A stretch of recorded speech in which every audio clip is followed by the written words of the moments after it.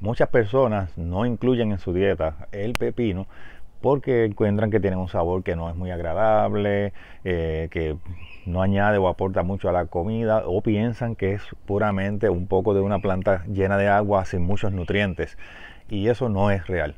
El pepino tiene muchísimas propiedades para tu salud y para evitar inclusive el cáncer. Así que si ese tema te interesa no te vayas sin que antes hablemos del huerto.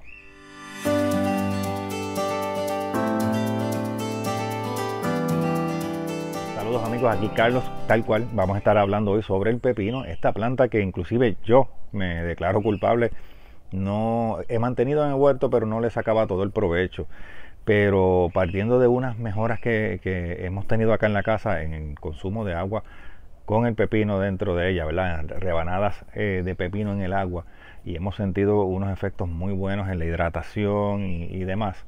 He querido estudiar un poquito la planta y compartirle a ustedes todo lo que he conseguido con relación a esta planta, sus beneficios y por qué ahora yo la voy a tener de manera permanente en mi huerto. Bueno, bien amigos, miren, el pepino es una fruta y sí, has escuchado bien, es una fruta puesto que tiene su reproducción en su interior por medio de semillas, que eso es lo que lo, separa o lo distingue de otras plantas, ¿verdad? Que podemos conocer como, como verduras o, vegetales, algunas personas, ¿verdad? Pero es una fruta, el pepino es una fruta que muchas personas le, le encanta sembrar porque es una es de las más fáciles que tú puedes tener en tu huerto. Es un asunto de que tú tomas el fruto maduro, le extraes las semillas, las colocas en cualquier terreno o tierra fértil y fresca y rápidamente tú vas a tener eh, sus plantitas, ¿verdad? Vas a tener plántulas. Eh, se reproduce igual que la calabaza, puesto que es de la familia de las curcubitáceas, ¿verdad? Igual que la calabaza. Yo tengo videos sobre ese tema de las calabazas y cómo plantarlas, así que te voy a dejar un enlace sobre ellas en la descripción y es el mismo proceso de siembra que tienen este, las calabazas. Así que si quieres buscar cómo tenerlo, pues sencillamente hazlo igual que se hace con una calabaza y vas a tener tus preciosísimas plantas de pepino. Pero lo que yo te quiero estar tocando en el día de hoy son los beneficios de esta planta, ¿verdad? Que son maravillosos, aunque algunas personas cuando toman este, este fruto, por su sabor posiblemente, eh, dicen, pues esto no, no debe ayudar muchísimo o no me motiva a comerlo. Yo soy uno que en ensaladas no me fascina, no me gusta, pero yo tengo otras maneras de consumirlo que son, en mi opinión, para, para mi gusto, para mi paladar, buenas y que entonces me ayuda a, consumirlo de una manera regular.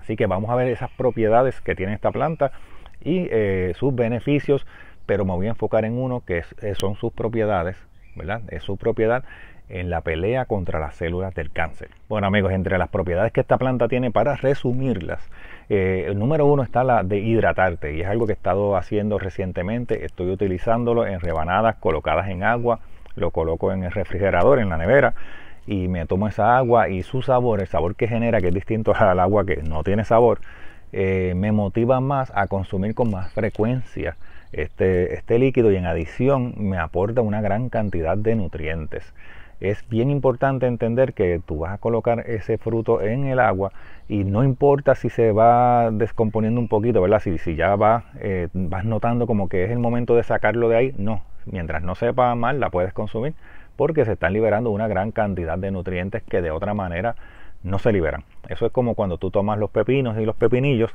y los colocas en una sustancia, ¿verdad? Eh, dentro de vinagre y otras cosas como se preparan, eso lo podemos ver en un futuro y se le extraen una gran cantidad de nutrientes que son buenos para la flora intestinal. En el caso del pepino, que es el que estamos refiriéndonos aquí, ¿verdad? Su hermano mayor, el más grande, eh, yo lo tengo acá en el huerto, en una esquinita que me creció una planta de manera voluntaria de otras que ya yo tenía y que no aprovechaba mucho, pero como les digo, voy a estar aprovechándolas bastante más. Vamos a verla. Bueno amigos, miren, esta planta que está aquí es una planta que me creció voluntaria había colocado unos pepinillos en el piso, se maduraron, se descompusieron en la esquinita, en un descuido mío, y la planta creció sola. Pero miren esta maravilla. Yo lo que quiero es mostrarle esta maravilla. Miren, aquí están sus flores. Miren qué cosa preciosa, tempranito en la mañana, abiertas, siendo polinizadas, y ya flores que han sido polinizadas. Miren esto. Ahí están los pequeños pepinos. Una planta fantástica, fantástica, me encanta. Súper fácil de tener, como yo les he dicho. Y miren, Vamos a ver si podemos verlo por aquí. Pero miren lo que hay ahí detrás. Vamos a ver si puedo hacer un poquito de espacio, pero miren. Tremendo pepino. Miren qué chulería. Está listo para, para ya tomarlo y aprovecharlo.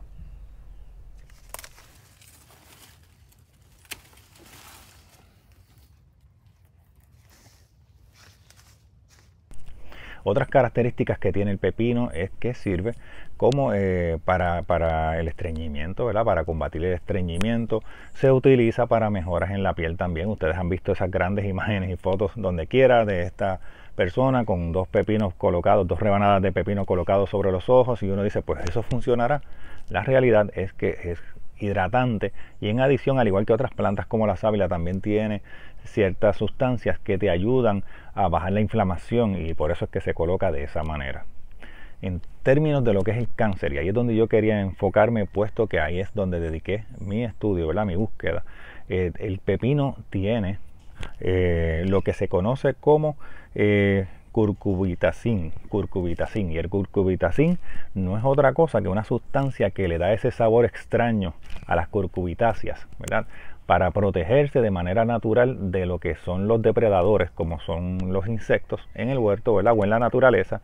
Y en, en adición, algunas especies no son muy sabrosas para los humanos porque tienen grandes concentraciones de esta sustancia. Pero es precisamente esta sustancia la que hace al pepino un fabuloso eh, aliado en nuestra lucha contra el cáncer, en la pelea contra eh, las células del cáncer. Estas, eh, el curcubitacin, que es lo que le da ese sabor raro al pepino y a otras de estas plantas, tiene propiedades citotóxicas. ¿Y qué quiere decir esto de que tiene propiedades citotóxicas? La citotoxicidad es la capacidad de pelear células. Entonces, el pepino tiene la capacidad de pelear células cancerígenas y esto se ha estudiado en, Valencia, España. Eh, hay un estudio relacionado a este tema del pepino como una posible solución, ¿verdad?, a, la pelea contra el cáncer. Y, esto es una opinión muy mía. Yo sé que eh, nosotros estamos muy avanzados en, los estudios contra el cáncer, pero eh, por la razón que sea, no quiero poner esto como teorías de conspiración, no le hemos dado la seriedad que merece la prevención del cáncer. Y se los estoy mencionando porque quizás tú me dices, eh, bueno, pero eh, el asunto citotóxico es como cuando se le da a una persona que tiene cáncer quimioterapia, que la quimioterapia no es otra cosa que la, la colocación en nuestro cuerpo de grandes sustancias citotóxicas, pero de manera química y desproporcionada. Por eso tiene efectos tan adversos en nosotros, ¿verdad? La caída del cabello y, otras cosas, ¿verdad? El, cambio del color de piel, eh, toda esa cosa es porque estamos colocando sustancias citotóxicas en exceso para poder pelear esas células del cáncer que ya están desarrolladas. A donde yo quiero llegar con esto es que tú puedes utilizar el pepino regularmente en tu dieta porque la cantidad de esas sustancias que tú vas a obtener son mucho menores que en una quimioterapia pero las vas a obtener de manera preventiva. O sea, que de antemano ya tú estás peleando esas células con esto, con el consumo de otros frutos como la guanábana y, otras frutas, ¿verdad? Que también tienen características en la lucha contra el cáncer. Es un asunto preventivo, nosotros los que trabajamos en el huerto, nosotros los que tenemos finca y nos gusta todo esto de la cosa natural, eh, queremos ser preventivos para evitar tener que ser reactivos.